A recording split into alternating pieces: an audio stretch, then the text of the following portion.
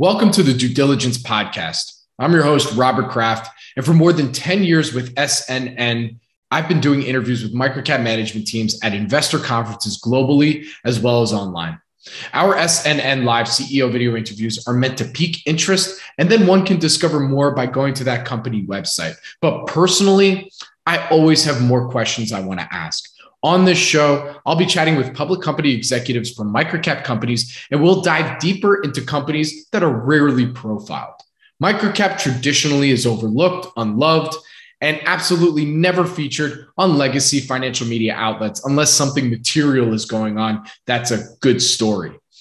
With my experience interviewing management teams, having interviewed most of them before, I've built up a network of companies, so there will be no shortage of content. Furthermore, this is an opportunity for me to showcase some of the qualitative lessons I've learned from guests on the Planet Microcap podcast. You can expect high quality interviews with management teams that may have exposure to broader macro trends that you may never have thought of. One of the many reasons why I love the microcap space. So, if you love microcaps and especially love learning about companies before the professionals do, let's start our due diligence. This podcast is for informational purposes only and is not provided as financial, legal, or any other advice. The information is not investment advice or an offer to buy or sell any securities or make any investment. The views expressed by guest speakers are their own, and any reference to third party products, services, or information does not constitute an endorsement thereof by SNN or its affiliates. SNN expressly disclaims all liability for any individual's use of the information presented in this podcast. My guest on the show today is Rick Van Kirk, CEO of Prodex Inc. It's a publicly traded company. The symbol is PDEX on NASDAQ. Prodex Inc. specializes in the design, development, and manufacture of autoclavable, battery powered, and electric multifunction surgical drivers and shavers used primarily in the orthopedic, thoracic, and maxocranial facial markets. The company has patented adaptive torque limiting software and proprietary sealing solutions, and it also provides engineering quality and regulatory consulting services and manufactures and sells rotary air motors in various industries. Prodex's products are found in hospitals and medical engineering labs around the world. I asked Rick to join me today to discuss why folks overcomplicate Prodex describing the company's IP and why that's important to understanding Prodex and their target customer base. With that, please enjoy my conversation with Rick Van Kirk, CEO of Prodex Inc. Welcome to the Due Diligence Podcast. I'm your host, Robert Kraft. You can follow me on Twitter at Bobby K Kraft. That's B O B B Y K K R A F T. And joining me today is Rick Van Kirk. He's the CEO of Prodex Inc. It's a publicly traded company. The symbol is PDEX on NASDAQ. Rick, thank you for joining me today. How are you doing? Uh, good. Thanks for having me. Appreciate it. It's great to have you on. Now, we've connected before. Uh, you, Prodex has presented at one of our uh, investor events. Uh, it must be, it, well, it's at least three years. It might now be four or five. Uh, and, and for those who may not be familiar with the Prodex story or seen you present or heard you on, on an interview or something like that out there, what would you say is that one line that best describes Prodex? We design and manufacture medical devices. Very good. All right. You know, it's tough sometimes for, for folks to answer that question. You know, like that might be the hardest question that everybody that people might get. Like, oh my gosh, how do I, how do I, especially with what folks are about to hear with Prodex, you know, it sounds simple, but there's a lot of complexity to what the company does. But before we get into all that, can you provide an overview and, and history of the company? Yeah, the company's been around about 40 years. It started out in, in a gentleman's garage and he made little air motors, and that kind of morphed into making dental hand pieces. Um, then, about 25 years ago, the conversion began to more of a medical device company. And the, the business proposition was hey, big company, we can design and develop your product in half the time you, you can with all your red tape. And you can get your product into the market, you know, twice as fast. We just asked for the manufacturing rights in return. And so that kind of saved Prodex and, and was a good model for some of our customers to follow. And we've been in that medical device arena for, like I said, about 25 years or so now. Got it. So you touched on, you know, this, I don't want to say the original problem because the company's clearly gone through a couple different machinations to get to where it's at today. But, yeah. you know, when it did make that shift to medical device, you know, what was that original problem that your potential customer base was facing and how did Prodex solve it? Well, their, their problem was trying to decide, you know, make or buy. Do we make this ourselves, design ourselves, or get it from outside? And a lot of them had very busy engineering departments that would take three, four, five years, and who knows how much it would cost them to design a product. We would sign up to do it in a year and a half. And we were smaller, nimbler, not a lot of red tape, not a lot of layers, to make decisions faster. And so, uh, because of that, we were able to charge a pretty good, you know, non-recurring engineering charge, if you will, and then secure those manufacturing rights to, to kind of carry on for a few years. So it helped them and it helped us. Was there was is there any uh, one aspect of medical devices that the company tends to be specifically focused on, or is it kind of all right? Any problem y'all have, you know, we can we can help.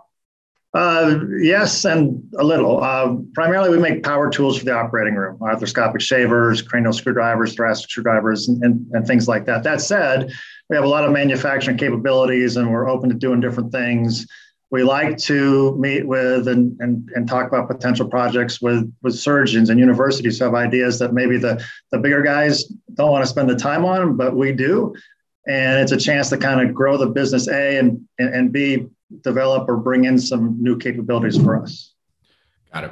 All right. Well, we're going to dig into the business a little bit uh, a little bit later, but you know, I, I also want to get your background as well because that's that's crucial to our conversation today. Um, you joined Prodex in January 2006, uh, eventually being appointed CEO in January 2015.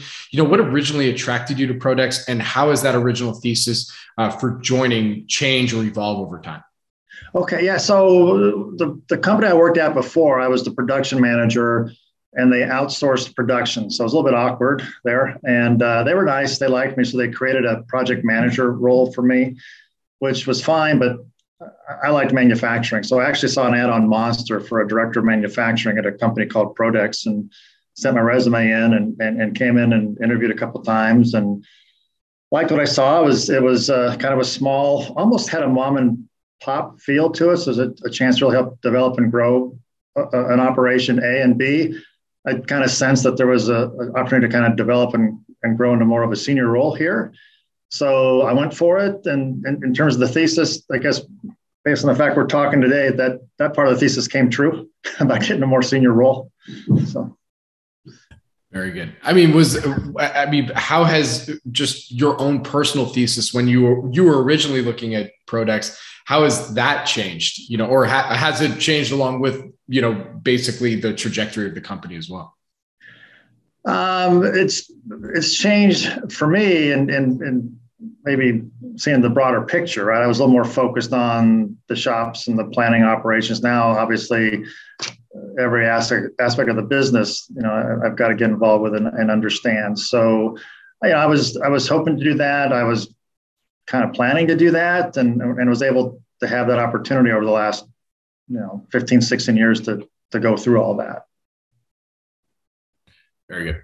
All right. So now we're going to dig into the business itself. Um, as you mentioned earlier, the company is a contract manufacturer for the medical device industry. You know, can you tell us a little bit about the the, the business model around that? Because traditionally, CROs is you know low margin, you know, a, a, real a tough tough business. You know, so how how is Prodex doing things a little bit differently? That's a really good question because traditionally we have been a contract manufacturer, but we're I don't want to say we're changing, but we're adding on a technology part of the company. We, in addition to doing the contract manufacturing model I described earlier, we're now developing our own products, and we have some proprietary technology that help us uh, compete out in the marketplace with some of these products that we do. So we've got both things going on. Um, you know, one of the things that's changed in our contract manufacturing model early on, we, like I said, we, we would propose, hey, we'll develop this product for you in, in half the time but we require the manufacturing rights too. So some companies only need help with engineering and some companies only need help with manufacturing. So we've opened the aperture and saying basically we'll help you with whatever you need. and and that includes also engineering services, kind of as a consulting basis, or or quality assurance services and helping with filings and things like that. So we've learned that to really serve the customers properly, we need to be open to help them with what they need, not what we think they need, if, if that makes sense. So that part of the CM business has developed. And as the company became successful over the years, again, we were able to invest into our own products and technologies that frankly helps shorten the sales cycle. Instead of convincing someone to go through a development process for a year and a half, two years, if we have something on the shelf and and say, hey, we can put your name on this in two months and sell it to you, it, it's better for everybody, us and, and the customer. So we're, we're trying to work both both parts of the business.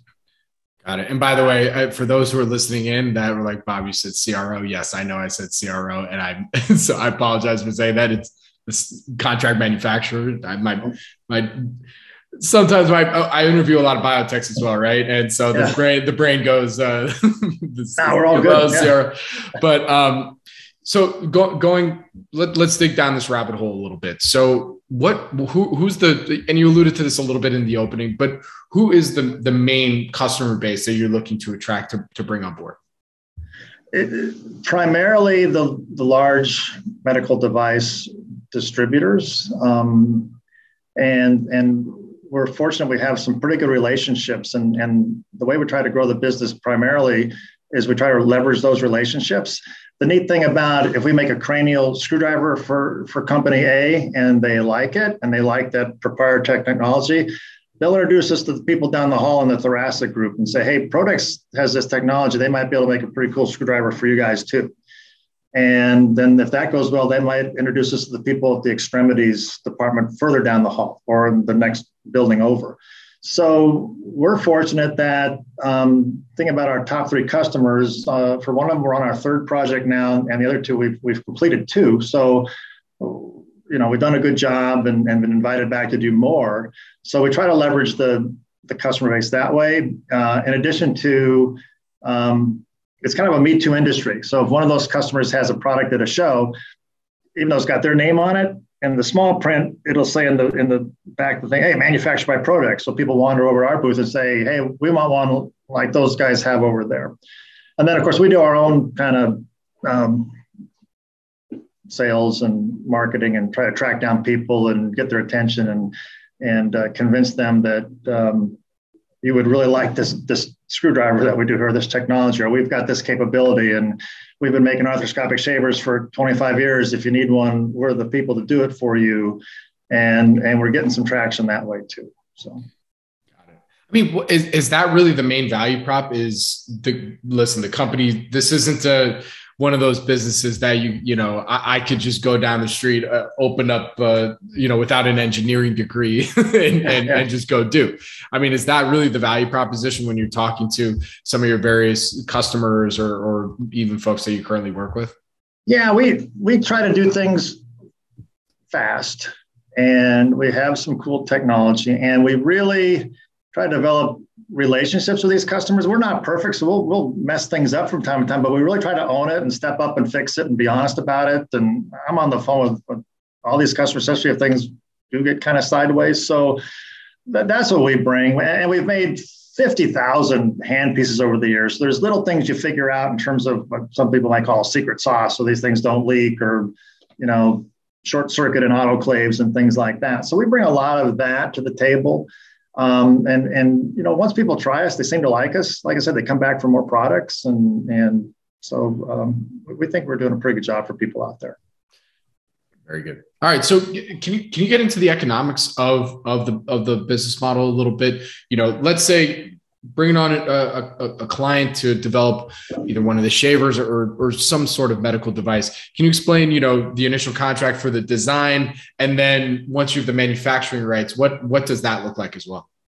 Well often we'll have something called a development and supply agreement and that'll kind of lay out the terms for both. And in the development agreement typically there's concerns on both sides about ip and who owns what and who brings what to the table and who keeps what after it's developed and you know payment schedule for different milestones and you know product spec you know we're going to pay you want this to do that then there's the supply portion that will, you know, say here's obviously the, the pricing and part numbers and things like that, and any other terms like you know, the length of the contract or if there's, you know, price reductions or price escalation clauses, just the commercial stuff. And, and it's always kind of nice if you can combine it on the one agreement and everyone just kind of moves on. You know, some companies prefer to have the engineering agreement and then their their procurement group will work on the supply agreement. We're, we're flexible. We'll do it any way that, that people want. Um, the work is the same and, and the, the payout's the same and, and whatever works for their system to make it easier for them to, to set up shop with us, we're happy to work with them How sticky is that customer base? I mean, they once once they once they get into agreement with you, especially once they start manu- if they're manufacturing with you. I mean, the what how difficult is it for them to move from using you guys as their primary manufacturers to somebody else? It depends on the product. On our screwdriver line, for example, with that proprietary technology, they, they can't move it unless we were somehow to agree to license that technology, in which case they have to pay us a lot of money. Um, the contract manufacturing stuff, you know, obviously they're a little more flexible in terms of moving that work around. So we just try to service the heck out of people like that and do a good job and and make it not worth their while to think about any investment in in second sourcing us or or worse. yeah. Got it. What, what so what is the competitive so, what does the competitive landscape look like? I mean, are there other Prodexes out there that employ a similar model, or is the competition more on on on the customer side? Great question. Largely, it's on the customer side. Um, you know, the, the, the make versus buy decision, or do they really want to have a, a powered screwdriver? Sometimes they like the manual one.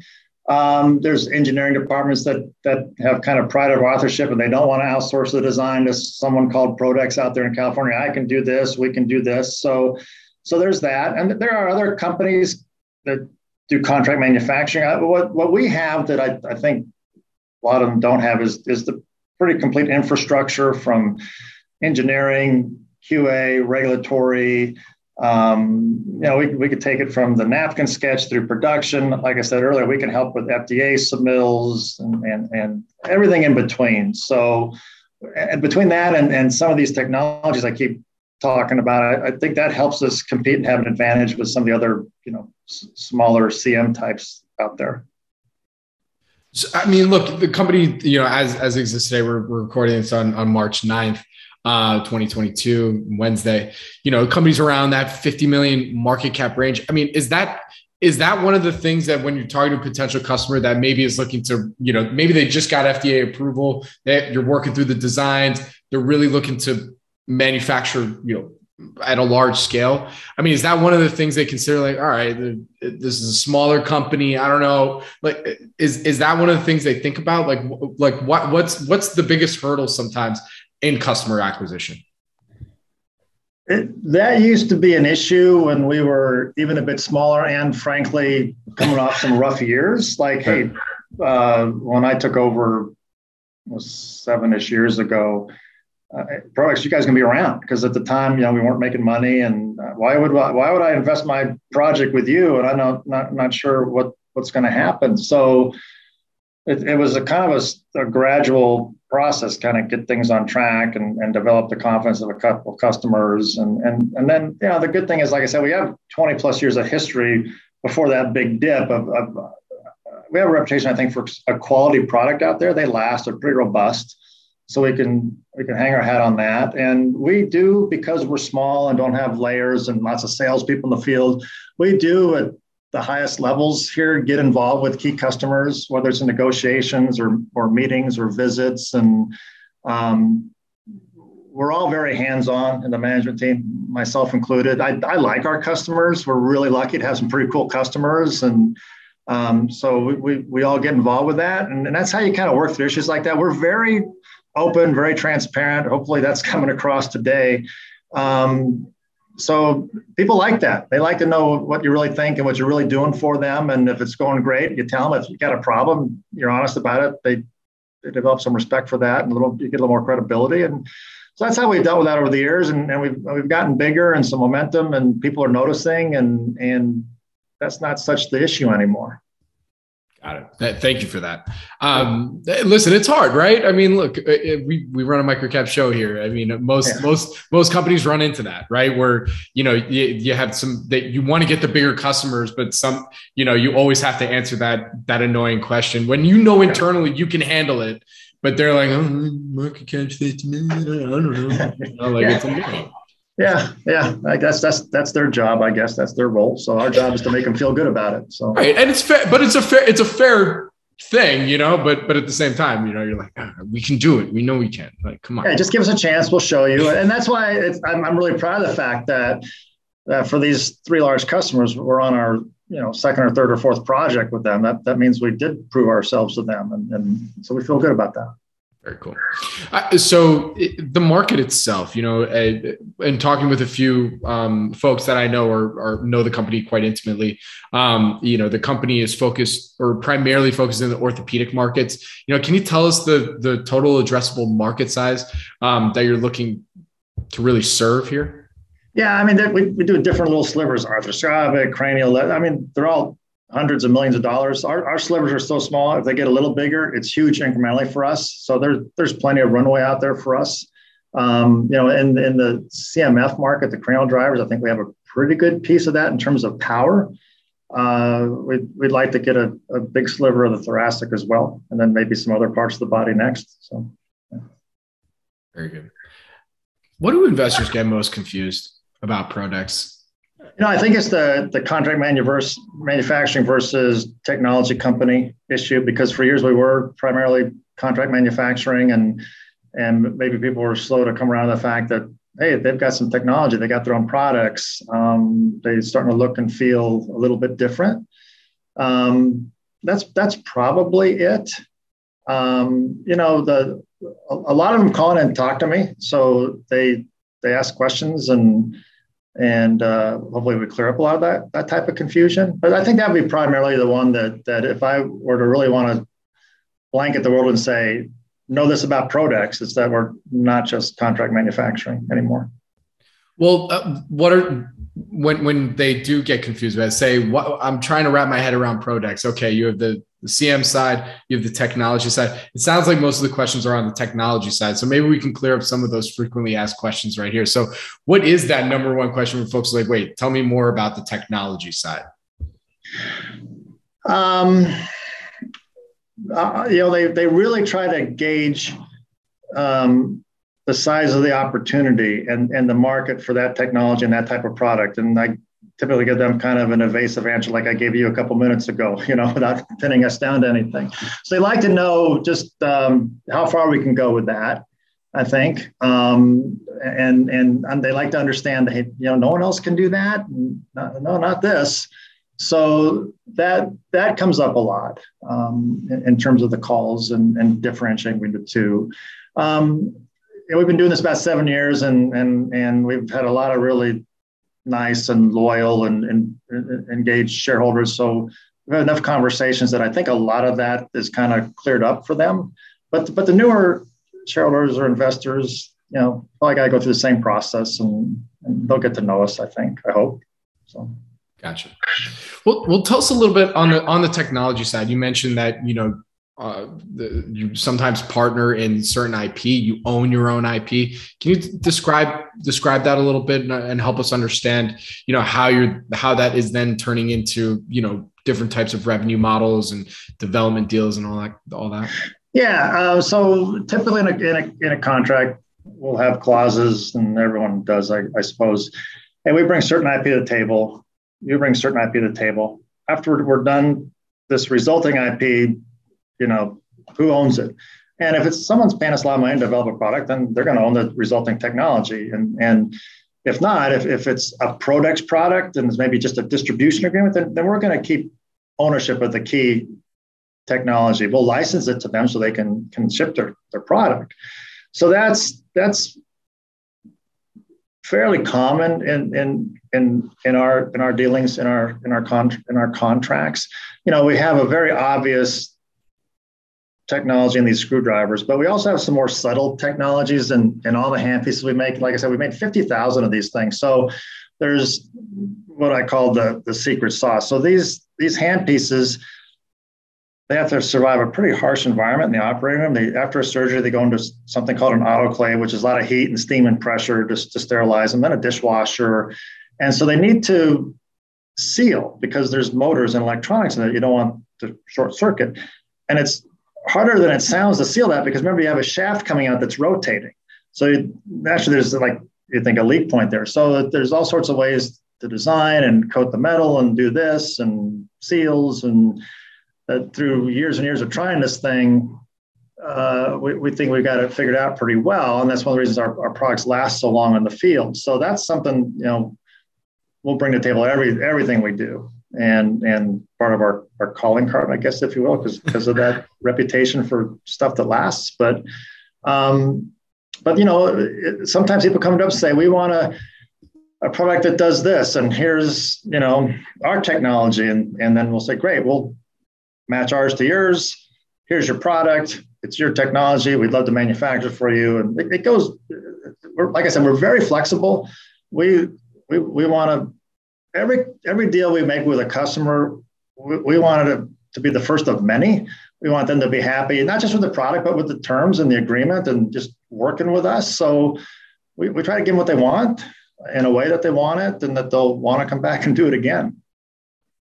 Very good another question I had, and and um, and and I, and I it, it, has to do with one of the potential risk factors for the company and in, in, doing my due diligence. And as you talked about earlier, when it's it's a smaller customer base, right? It's there, it's yeah. Very concentrated. You know, can, can you explain to us, you know, one, why is there so much customer concentration? Why this is more indicative of the market versus just, you know, listen, we'd have we'd go to more, but this is what we got.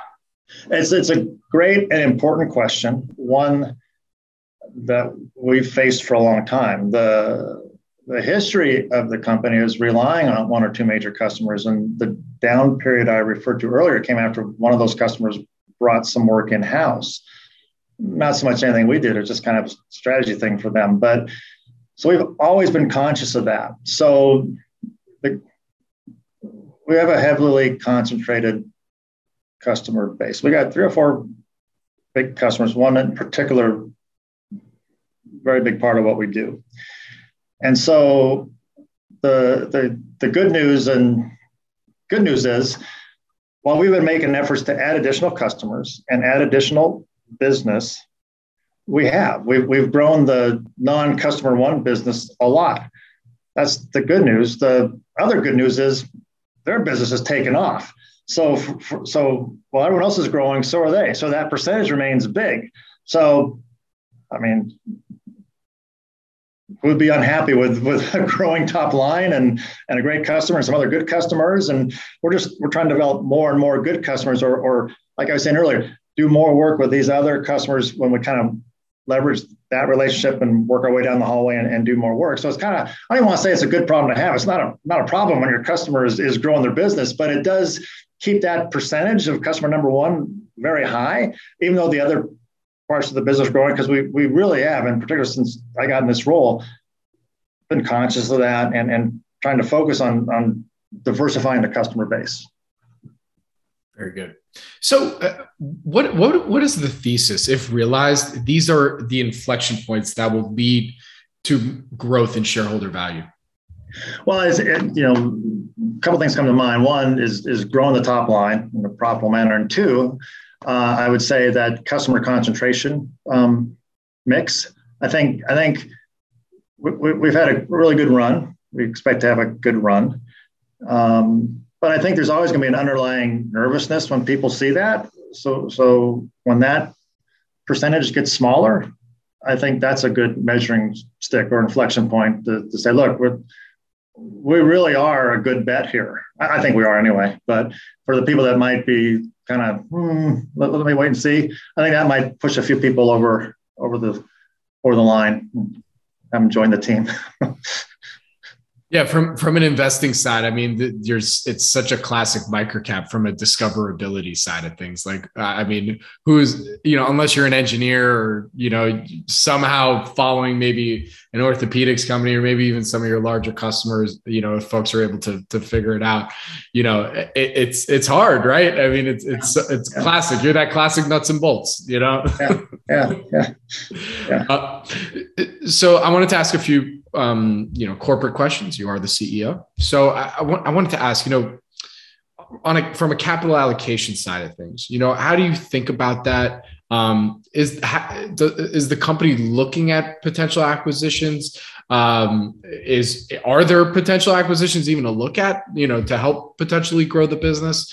Um, here, we'll start there, and then maybe yeah. we'll go to some other. Well, it, it it doesn't sit around. We we we have an investment committee, myself and two members of the board, and and for the most part, we'll invest in in other company securities, and we've had a pretty good track record with that. Um, we've we've done other kind of special projects, if you will, with with with that committee. Um, you know, someday. Uh, yeah, I, I would I would envision some some smaller strategic acquisitions. It's not on our plate right now. Um, but we have aggressive growth plans, and and whether it's you know bolting on some top line or some capabilities to help us grow the, the business, those are definitely possibilities in the future. We're just not actively pursuing right now. We got a lot going on here right now in terms of growing this thing, and we are commissioning a new building, and and, and just not maybe the right time for that, but someday I think that's definitely a possibility. Very good. So, so really, it's all about. I mean, right now, you know, because you have two, you have two manufacturing plants. Am I am I right there? Yeah. Yes. Yeah. Got it. So, so really, it's about right now is you know any kind of free cash flow. It's really redeploying it to to expand capacity. Is that really the thought process? Yeah, for, for the most part, I think that's fair. Yeah. Gotcha. Okay. And how much, if at all, uh, have your shareholders influenced your your decision making process? Yeah, indirectly. So we serve three groups, right? Customers, employees, and shareholders. So we're trying to increase shareholder value. So that influences what we do. You know, just kind of generally speaking, I, I, I do know that we try to communicate a, a lot and effectively with shareholders. We, I think, do very descriptive and well-written um, 10Qs and 10Ks. We have what I think is a pretty fun annual shareholder meeting every year, and a lot of people come and ask a lot of questions. Everyone gets along great. Um, and like I said earlier, a, lot of shareholders call me, um, and I'm happy to talk about Pro-Dex. I think a lot of them call like right after these earnings releases. It's kind of a safe time to talk and stay out of SEC jail and stuff like that. So um, we, we try to to welcome them and and talk to them and and encourage them and and yeah, we try to serve their interests along with our customers and the people that work in this building. And, and, this isn't so much on a, a, corporate question, but I mean, look, the last two years have been hard for so many, so many businesses out there. But you know, were, were there any challenges, COVID nineteen challenges that the company had to overcome? You know, we've we've been fortunate. Uh, the people have been great in terms of protocols and and looking out for each other and not coming to work if they're sick. Um, you know, we went 13 months without anybody um, catching COVID here in the building. Then the holidays hit, and then you know everyone in the world got Omicron, I guess. But uh, uh, then we got we got through that. We we we've been fine. It really has not impacted us. I think it's impacted some of our suppliers, obviously, and we're all dealing with. You know, so far we've stayed one step ahead of Posse on the uh, whole supply chain issue, but but you know it's it's a struggle every day to track down parts. So, you know, so far, so good, but it's not over, I would say, in, in terms of dealing with it. Got it. So I also have to ask, you know, what does failure look like? And then likewise, what does success look like for Pro-Dex? Well, I, will start with success. Um, success to me would be a, a growing, profitable business with with customers that like us and want to do more work with us and a place where people like to come to work and think they have an opportunity to develop and grow into whatever they want to do here or or anywhere else. Um, that would be success. Failure, I don't know. don't think about it. well, I mean, it's it's it's I think I guess another way to ask it is, you know, what are we talked about one one potential downside risk on customer concentration, but I mean, are there any other, um, you know, risk factors or, or downside risks that folks folks should should understand at least when they're considering Pro-Dex?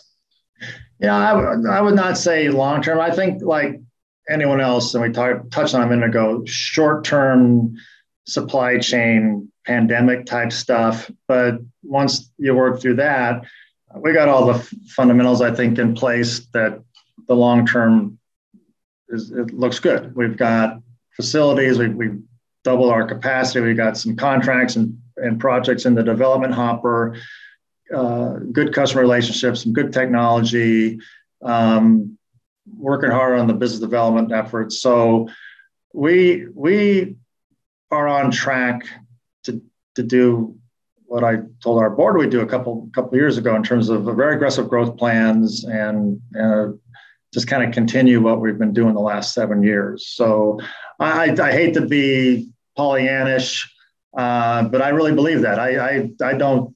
It was kind of a smart alecky answer, but I don't envision failure for us. It might take a little bit longer if all of a sudden all these boats in the ocean stay out there a lot longer, but um, we'll be fine. I, I, I don't I don't see a risk of long term failure. Very good. All right. Well, to close this out here today, I ask this for you know every every CEO that I have come on here. Do you enjoy being a public company CEO? It's not an easy job. It can be a pain in the you know what. Yeah. Uh, but but do you enjoy being a public company CEO? Yes, uh, very much. A couple reasons. One, uh, we, we got like 140 people. We got a great crew of people, but in particular, there's 50 or so that when I started in this role and the company was struggling, they stayed with us and they could have left and gone somewhere else where the companies were not struggling like we were, but they stayed, you know, did extra work, pitched in and hung around while we turned things around. So it's very gratifying that, that they're part of the success now. So that's, that's one reason I really like it. The other thing is, I hate to use a cliche, but the the buck truly stops here. There's not an important decision that doesn't pass through this office. So that might be scary to some people, but I but I like it. I mean, how many people through their career think, man, if I was in charge, I'd do it this way. Well, I, I got that chance. So how lucky am I? So I, I enjoy it. I enjoy the people. I enjoy being involved with everything. Um, I like it a lot. And you know, so far we've been doing okay. So very good. All right. Well, Rick, I think that's a great place to end it. You know, for for more information, where can our audience go and find everything they need to know to follow along the Pro-Dex story? Uh, our website, www.prodex.com. It's P-R-O-D-E-X. Um, you can, our phone number is on there. You can call and, and ask for me. Like I said, I'm happy to talk to people about things we can't talk about publicly. Um, so we try to be accessible. Those are probably the best ways to, to find out more about us. Very good. All right. Well, Rick, thank you so much for joining me today. I really do appreciate it. Good luck. Stay safe. And I look forward to our next update. Yeah. Thanks for having me. I really appreciate it. A good time. Thanks. Thank you. This podcast is for informational purposes only and is not provided as financial, legal, or any other advice. The information is not investment advice or an offer to buy or sell any securities or make any investment. The views expressed by guest speakers are their own, and any reference to third party products, services, or information does not constitute an endorsement thereof by SNN or its affiliates. SNN expressly disclaims all liability for any individual's use of the information presented in this podcast.